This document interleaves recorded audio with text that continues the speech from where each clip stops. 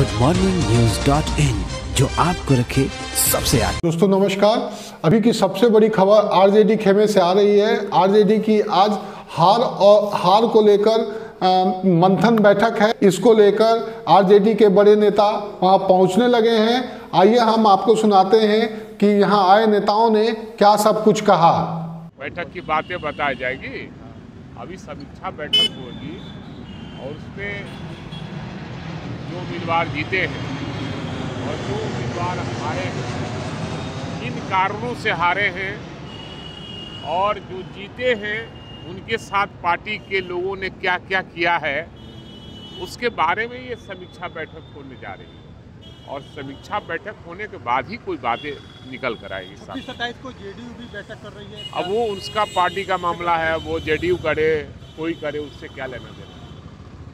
अजीत कुमार जी राजगीर को बड़ा हब बनाना चाहते हैं। राजगीर को बिहार का वो राजधानी बनाना चाहते हैं। बनावे राजधानी क्या दिक्कत है? तो पटना बदल जाएगा राजगीर हो जाएगा। अब तो उनका राज है वो जो करना चाहते हैं वो करें। आप सभी जानते हैं कि उनके राज में जितनी हत्याएँ और बलात्कार हो रहा है लूटपाट हो रहा है भ्रष्टाचार है चाहे देश और दुनिया में कहीं ऐसा नहीं हो रहा है। हार और जीत की समीक्षा की बैठक। जो हमारे जीते हुए विधायक हैं, हारे हुए विधायक हैं, हमारे जिला अध्यक्ष हैं, प्रधान महासचिव जिला के हैं, वो अपने मंतव्य को रखेंगे, इस चर्चा का मुख्य एजेंडा है। और जो हमारे जो कानून, जो देश में कृषि कानून जो पास हुए हैं, जिसके खिलाफ देश भर के जो किसान आंदोलनरत हैं, जिसका हम लोग समर्थन में कई आंदोलन बिहार में हम लोगों ने किया है, आगे भी इस पर हम आंदोलन की दिशा को लेकर के इस बहस, इस बैठक में बहस होगा। बहस में के बाद जो निर्णय होगा पार्टी का वह हमारे अधिकृत प्रवक्ता के द्वारा फिर दिया जाएगा कि हम लोगों ने क्या निर्णय लिया। है विधायक हैं पार्टी को क्या कुछ संदेश देने चाहेंगे? मतलब कुछ विधायक पुराने नेता जो अलग हो गए या जो भी वरिष्ठ नेता थे अलग हुए उनको वापस लाने की कोशिश देखिए दो दो तरह के मामले हैं। एक चुनाव में जिन लोगों ने विरोध किया उनको उनका एक निष्कासन है। उनको निष्कासन के बाद अब एक लंबा अवसर उनको दिया जाएगा अपनी बात को सफ़ाई पेश करने के लिए। और पार्टी आ, उसको कह सकते हैं व्यक्ति व्यक्ति व्यक्ति के आधार पर उनके गुण दोष के आधार पर आगे निर्णय लेगी। दूसरा है कि जो हमारे कुछ सहयोगी कुछ मित्र पहले छोड़ के जा चुके हैं उनके बारे में अगर कोई प्रस्ताव होगा पार्टी में वापसी का तो पार्टी ज़रूर विचार करेगी कि हमारी ये जो पुराने लोग साथी गए हैं अगर वापस आ सकते हैं किन्हीं कारणों से दोनों अलग अलग विषय हैं। एक चले गए हैं एक निकाले गए हैं। निकाले गए हैं गुण दोष के आधार पर चले गए हैं अपने कारणों से। जो अपने कारणों से गए हैं उनको वापसी में कोई बड़ी समस्या नहीं आएगा। लेकिन जो गए निकाले गए हैं उनके गुण दोष के आधार पर ही वापसी सुनिश्चित करेगी पार्टी। कांग्रेस को लेकर भी कुछ बातें हो रही थी कि उनके कारण कमज़ोर हुई राजद सत्तर सीट का बहुत बड़ा कांग्रेस को तो खुद ही आकलन करना चाहिए। और हमको देख रहे हैं कि मंथन कर रहे हैं दिल्ली में सोनिया गांधी के नेतृत्व में। अगला दस दिन लगातार वो मंथन करेंगे कि हम देश भर में क्यों हार रहे हैं? केवल बिहार में नहीं हार रहे हैं देश भर में हार रहे हैं। और उनके हार के चलते हम लोग सत्ता से दूर हैं बिहार में।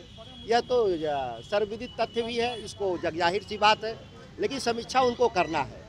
हाँ इसमें इस कृषि बिल की आपने बात की कि उस पर समीक्षा की जाएगी। वहीं बिहार के कृषि मंत्री अमरेंद्र प्रताप सिंह कहते हैं कि दिल्ली में जो प्रदर्शन कर रहे हैं वो दलाल हैं किसान नहीं अमरेंद्र बाबू मानसिक रूप से दिवालिया हो गए हैं। जिसको अस्वस्थ कहते हैं पचहत्तर साल की उम्र हो रही होगी उनका सत्तर साल वो बूढ़े हो चले हैं। उनको या तो किसानों के बारे में नहीं पता है या जीवन में कभी किसानी किया नहीं उन्होंने। वो तो मुँह में सोने के चम्मच लेके पैदा हुए पूर्व मुख्यमंत्री के पोता हैं तो उनको तो राजनीति राजनीति से फुर्सत मिली नहीं। किसानी कब उन्होंने किया कि किसानों के बारे में जानते हैं कौन किसान है कौन नहीं किसान है? कांग्रेस को और सीट जीतनी चाहिए थी ये मानते हैं हम। थोड़ा और उनका अच्छा परफॉर्मेंस होना चाहिए था। सत्तर सीट देना डिसीज़न कहीं ना कहीं पार्टी के लिए हम इतना ही बोलेंगे कि उन लोग को और सीट्स जीतनी चाहिए थी। अब क्या कारण था इसके इस डिटेल पे हम नहीं जानते भविष्य में अगर ऐसी बात हो सीटों के बंटवारे तो कांग्रेस की स्थिति को देखकर ही सीट देनी चाहिए कुछ ऐसे राय देंगे क्योंकि आप एक वो तो अब ऊपर देखिए बाकी लोगों का मैटर है वो कांग्रेस के लोग समझें और अन्य जो जो भी उन लोग का है उस पर हम क्या कमेंट कर सकते हैं? हम बस ये मानते हैं कि उन्हें थोड़ी और सीट्स जीतने चाहिए। जनाधार है कांग्रेस का जितना सीट उन्हें मिल रहा है पार्टी तवज्जो दे रही हम- उतना हम- जनाधार है हम किसी चीज़ पे कुछ नहीं बोलेंगे हम बस जो मानते हैं वो हम आपको आपकी एक राय पार्टी में बिल्कुल, बिल्कुल, हम ये- हाँ। पे ही बात होती है नहीं हम ये बोलेंगे कि कांग्रेस को जितनी सीट्स मिली थी उससे उसके मुताबिक उन लोग का जो है परफॉर्मेंस और अच्छा होना चाहिए सर बिहार के कानून व्यवस्था पर लगातार नीतीश कुमार बैठते कर रहे हैं लेकिन कानून व्यवस्था पर विराम अभी तक लगता नज़र नहीं आ रहा। देखिए बात ऐसी है कि अ, आप आप देख ही रहे हैं कि लगातार ये लोग बैठक पे बैठक कर रहे हैं। बीजेपी जो है जेडीयू के ऊपर क्वेश्चन मार्क्स दे रही है। हाँ लगातार क्वेश्चन पे क्वेश्चन पूछा जा रहा है बैठक पे बैठक हो रही है लेकिन धरातल पे कोई एक्शन नहीं हो रहा है ये दुर्भाग्यपूर्ण है। आपने सुना कि आरजेडी में जो जो लोग आए हैं, उन्होंने क्या कुछ कहा? अब हम आपको फिर अपडेट करेंगे बैठक के बाद कि क्या सब कुछ हुआ बैठक में। तब तक हमें दे इजाज़त। अगर आप हम हमारे चैनल को लाइक और सब्सक्राइब नहीं किया है तो कर लें। हम आपको पल पल की हर राजनीति और छोटी बड़ी राजनीति से जुड़ी छोटी बड़ी खबरों को अपडेट करते रहेंगे।